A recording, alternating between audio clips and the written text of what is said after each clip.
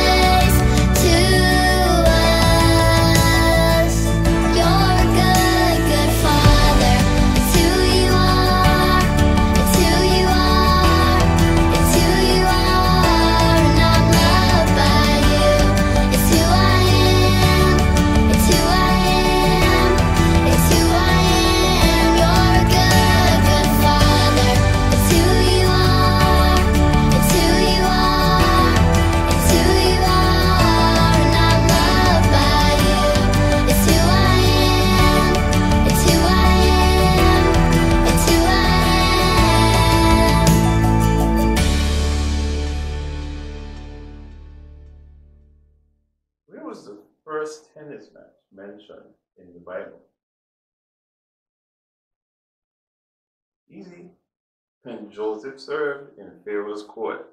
Get it?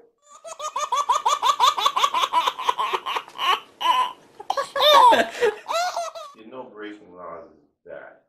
You know who the worst lawbreaker was in the Bible? Moses. He broke all of the commandments at once.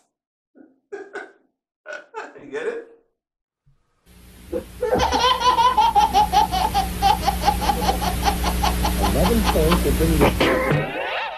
Hi everyone, we're going to be reading a story today called Good Good Father, and it was written by Chris Tomlin and Pat Barrett. A colorful kite soared in the sky, and then, whoosh, it caught on an oak tree branch. "Don't worry, I can help," Tucker called, tugging the kite this way and that. Tucker was a little bear. Helping others made him happy, and his friends needed lots of help. Some bears were always fighting. Some bears were sick. Some bears couldn't read. Some bears were hungry. And some bears were sad. Tucker didn't know how to help his friends. I could ask the king for help, Tucker cried. Maybe, just maybe, If I give him the perfect gift, he will help us. So off Tucker went on a journey to see the good king who lived in a castle where the door was always open. It wasn't long before a group of big, strong raccoons blocked Tucker's path. Stop, one raccoon ordered. What do you want? I w- w- want the king to take the king the perfect gift. But, but, but I don't know what to choose, Tucker explained. The king is a good warrior, the raccoon said. Why don't you bring him this shield? The king will keep you safe, cheered the other raccoons. Down the road, an owl swooped down in front of Tucker. Hoot, hoot, the owl called out. What would you like to learn? I'm trying to figure out the perfect gift to take to the king, Tucker replied. The king teaches from his wise book, the owl told him. I'm certain the king would be pleased if you gave him something to read. As Tucker walked away, the owl hooted, Go see the king. He is a good teacher. As he walked, Tucker spotted foxes wearing long white jackets. How are you feeling? asked a concerned fox. I feel fine, but some of the bears in my town are sick, Tucker replied. I'm on my way to see the king and ask for his help. Here, take these bandages as a gift, the fox said. The king is a good doctor. More confused than ever, Tucker sat to rest. Are you here for a snack? a squirrel asked. Actually, I'm trying to find the perfect gift for the king, Tucker explained, looking around. Wow, you have so many yummy looking fruits and vegetables. Why don't you take the king these seeds? the squirrel suggested. The king is a good farmer. He will help you grow food. Far away, Tucker heard music and singing and laughter. He followed the sounds until he spotted some happy turtles. Jump on in, now's your chance. This turtle town just loves to dance, a turtle sang. We used to be sad, but now everything is a celebration because of the king. What kind of gift do you think he would like? Tucker asked. Give the king this violin, the turtle said. He's a good musician. The king will bring you joy. All the animals Tucker met had told him different stories about the king and what the perfect gift would be. But Tucker still didn't know what to give him. As he looked up to the castle at the top of the tall hill, as it always was, the door was wide open. Tucker tiptoed toward the open door. Tucker! The king ran toward him with a huge smile. I'm so glad you're here. It looks like you need my help. My friends are in trouble, and I thought if I brought you the perfect gift, you would help us, Tucker explained shyly. You brought the perfect gift, the king said with great love. Now let's go help your friends. Tucker wasn't sure which gift was the perfect one. Even so, he hurried off with the king. On their journey back to the little bear's town, Tucker asked question after question. Are you a warrior? Yes, the king answered. Are you a teacher? Yes, the king repeated. Are you a doctor? Are you a farmer? Are you a me are you a musician? Yes, yes, and yes, the king patiently replied. But how can you be all of these things? the little bear asked. The king smiled. I am all of these things because I am a good father. Tucker didn't understand. Soon the king and the little bear reached Tucker's town. When the bears saw the king, one by one they bowed down. The king walked through the town and gave help to everyone who needed it. Most of all, the king, the good father, loved them. Tucker said to the king, Now I see. You are not only a good father, you are a good, good father. A good, good father protects us. A good, good father teaches us. A good, good father makes us well. A good, good father gives us what we need. A good, good father fills life with music and laughter. And most of all, a good, good father loves us. Dear King, I have one more question. Which gift was the perfect gift? Tucker asked. You are the perfect gift, the king told the little bear. You came to me when you needed help. You trusted me. You bring me great joy, and I love you with all my heart, the same way I love all my children. Tucker, curled up with sleepy eyes and a full heart, whispered, You really are a good, good father. All right, guys, I hope you enjoyed this book, and I will see you next book. Hey, kids. Can you tell me what car did the wise man drove to see Jesus? Make a wise Hmm. guess. Mm. Hmm. Oh, a Honda Accord because they were all in one accord. Wow. I bet you didn't know that. Hi kids, here we go again. Next one for you. Why did Jonah didn't trust the ocean? Make a guess.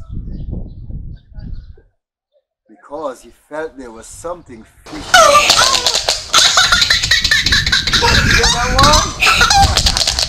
Hi, boys and girls. Today we're going to talk about the greatest father. Did you know the Bible uses the word father more than 1,000 times? I want to tell you about some of the fathers in the Bible, some good and some bad. And then I want to tell you about the greatest father of all times. Can you match these Bible heroes with their fathers? The first one is Moses. Maybe you've heard about how God used Moses to deliver the people of Israel from slavery in Egypt and how he made a dry path through the Red Sea for Moses to lead the Israelites through. Who was Moses' father? Was it A. Lamech, B. Malachi, or C. Amram? Well, the answer is Amram. Moses probably barely knew his father Amram because Moses was taken away from his parents to live in the palace when he was very young. Moses wasn't able to be with his father most of the time, but God, his heavenly father, cared for him and used him to do many amazing things. Our next Bible hero is Isaac. Isaac's father was 100 years old when Isaac was born. Even though his father was very old, God promised he would have a son and that his family would eventually become a whole nation of people. Who was Isaac's father? A. Abraham, B. Jacob, or C. David? Well, the answer is Abraham. Isaac was born when Abraham was very old, just like God promised. His family eventually became the Israelites, the nation God used to bring the Savior into the world. Our next Bible hero is Noah. Maybe you've heard about Noah and how God used him to build an ark to save Noah's family and lots of animals from the flood that God sent to judge the sin of the world. Who was Noah's father? Was it A. Laban, B. Seth, or C. Lamech? The answer is Lamech. Lamech named his son Noah, which means rest or comfort, because he was looking forward to the day God would rescue the world from the problems and the pain caused by sin. Our next Bible hero is Leah. Some people thought Leah was ugly, but God didn't think so. He loved her and chose her to be a part of his rescue plan by making her the great, great, great, great, great, great grandma of Jesus Christ. Who was Leah's father? Was it A. Moses, B. Laban, or C. Joseph? The answer is Laban. Laban was a sneaky, dishonest man. He tricked and cheated people over and over again. Even though Leah's father wasn't fantastic, God, her heavenly father, was. Our next Bible hero is Jonathan. Jonathan was a mighty warrior and a prince. But God chose David to be king instead of him. Instead of being jealous or upset, Jonathan became David's best friend and even helped him become king. He was an incredible friend. Who was Jonathan's father? Was it A. Solomon, B. Saul, or C. Herod? The answer is Saul. Saul was extremely jealous when God chose David to be the new king. Saul tried to kill David, but his son, Jonathan, helped David escape from Saul over and over. Saul hated his own son for disobeying him to save David's life. But Jonathan knew it was more important to obey God, his heavenly Father. Our next Bible hero is Josiah. Josiah became a king when he was only eight years old. Eight years old. He helped the people stop worshiping false gods and start following the one true God. Anybody else out there who's eight years old? He was one of the great kings Israel ever had. Who was his father? A. Amon, B. Ahab, or C. Solomon? Can you guess? The answer is Amon. Amon was a very bad father and a very bad king who led the people away from worshiping God. But even though Josiah had a terrible father who died when he was only a boy, God, his heavenly father, helped Josiah to be a good and great king. Our final Bible hero is Esther. Maybe you've heard about the way God used Queen Esther to rescue the Israelites from being totally destroyed by an evil enemy. Who was her father? A. Moses, B. Levi, or C. Mordecai? The answer is Mordecai. And he wasn't really a biological father to Esther. Esther's parents died when she was very young. So her relative Mordecai became her foster parent and took care of her. She didn't have her parents, but God, her heavenly Father, used her to rescue the entire nation of Israel. Some of these Bible heroes had good fathers, some of them had bad fathers, and some of them barely knew their fathers at all. All of them have one thing in common they had an amazing heavenly father, God. God is the greatest father anyone could ever have. He is better than 10 billion of the best dads on earth all put together. The Bible says we can talk to God and enjoy Him like a loving father. Matthew 6, verse 9 says, Our Heavenly Father, hallowed be thy name. Our Father in heaven, hallowed be thy name. And hallowed means holy, or hallowed means holy, special, reverenced, honored, and treated with extreme respect. God is the greatest, most honored, most holy person of all time. He's better than all the other fathers who have ever lived. And after these jokes, from some of these dads, I'm going to use the word father to tell you why. What's the difference between Jesus and pizza? Jesus can't be taught.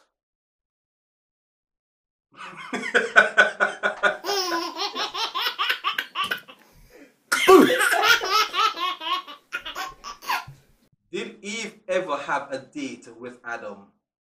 No, just an apple.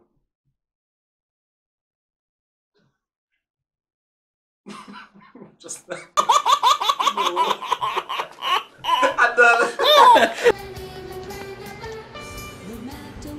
F is for faithful.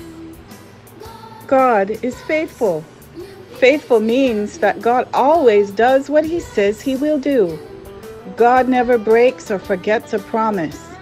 Maybe you have a good dad who has made promises, but he forgets them or things happen and he's not able to keep them. Maybe you have a father who has hurt you by breaking his promises. God never does that. You can always trust him. Lamentations chapter 3, verse 22 and verse 23 says, The faithful love of the Lord never ends, his mercies never cease. Great is his faithfulness. His mercies begin afresh each morning. So, you can always count on God to be what he says he will be and to do what he says he will do. God is a faithful father. God is the greatest father. A is for affectionate. God is affectionate. Affectionate is a fancy word that means loving. God loves you. God loves you so much that he wants you to be his child. 1 John chapter 3 and verse 1, the first part of verse 1 says, See how very much our Father loves us, for he calls us his children, and that is what we are. God made you to be loved by him.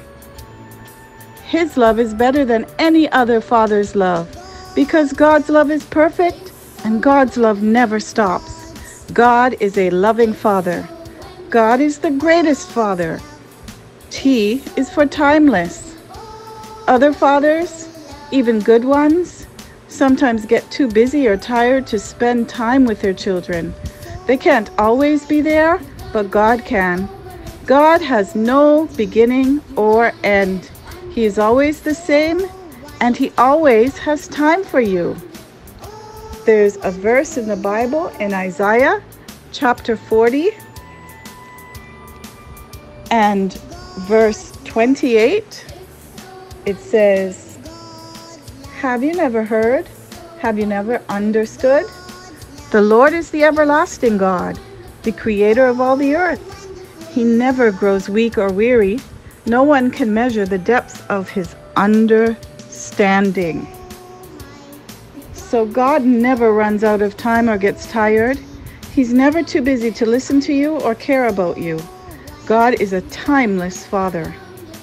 H is for holy. God is holy. Holy means God is completely set apart from sin and completely perfect. He is the only Father who never sins or makes mistakes. God never thinks, says, or does anything wrong. He's always good, all the time. Matthew chapter 5 and verse 48. Matthew chapter 5 and verse 48 says, But you are to be perfect, even as your Father in heaven is perfect. You and I are not perfect like God is. We were born wanting to sin against Him by lying, cheating, hating, and doing many other things to break His perfect laws. Our sin separates us from God.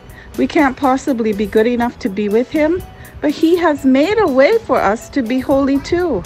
He wants to give us His holiness so we can be with Him forever. God is a holy Father. E, everywhere. God is everywhere. Other fathers can only be one place at a time, but God is everywhere, all the time. Everywhere you go, God is always with you. He's in your home, He's in your school, He's in your church. He's with you when you cry and when you laugh. He's a father who is always with his children. Hebrews chapter 13 and verse 5 says, my bookmark fell out here. Let me get the Hebrews chapter 13 and verse 5 says, Don't love money. Be satisfied with what you have, for God has said, I will never fail you. I will never abandon you. So, God is a father who loves being with his children everywhere they go. God is the greatest father. R is for rescuer. God is a rescuer because he rescues people from sin. Sin is anything we think, say, or do that breaks God's perfect rules, like lying, cheating, and hating. If we die without being rescued from our sin, we will be separated from God in a terrible place of punishment forever. God is a loving Father, so He made the way for you to be rescued from sin. 1 John chapter 4 and verse 14 says, Furthermore, we have seen with our own eyes and now testify that the Father sent his Son to be the Savior of the world. God and his perfect Son Jesus planned for Jesus to be the Savior who rescues people from sin. Jesus willingly let people nail him to a cross where he bled and died to take the punishment for our sins. After Jesus died, he was buried in a tomb, and on the third day, God the Father brought him back to life. Jesus is alive. God the Father planned this so we could be rescued from our sin. God is the greatest, most amazing Father of all time. You can read the Bible to learn more ways that God is the amazing Heavenly Father. God wants to be your Heavenly Father. If you've never believed in Jesus as your Savior from sin, the Bible tells you how God can become your Heavenly Father. John chapter 1 and verse 12, Jesus actually tells us how we can become sons of God. He says, But to all who believed him and accepted him, he gave the right to become children of God. So, this means that everyone who believes that Jesus really did die and really did come alive again to pay the punishment for sin is rescued from sin and becomes God's child. If you believe in Jesus, you won't have to be far away from God. God will be with you for the rest of your life to help you to get to know Him better. After you die, God will take you to be with Him in His perfect home, heaven, forever and ever. Whether you have a good dad, a bad dad, or even if you don't have a dad in your home at all, God loves you and He wants to be your Heavenly Father. If you want to know more about becoming a child of God, we can look more closely at what the Bible says about that.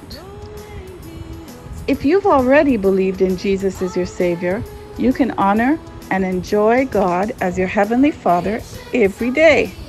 Matthew 6, verse 9 says, Our Father in heaven, hallowed be thy name. You have lots of reasons to honor and enjoy your Heavenly Father. He is faithful. You can trust Him.